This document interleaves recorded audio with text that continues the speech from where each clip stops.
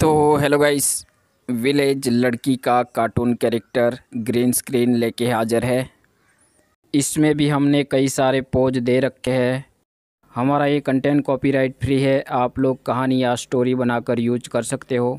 हमारा वीडियो आपको पसंद आए तो वीडियो को लाइक ज़रूर कर दीजिए।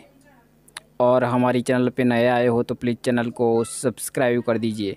साथ में बेल आइकन प्रेस करके ऑल पे लगा दें, ताकि हम जब भी कोई वीडियो अपलोड करें, आपके पास तुरंत नोटिफिकेशन आए।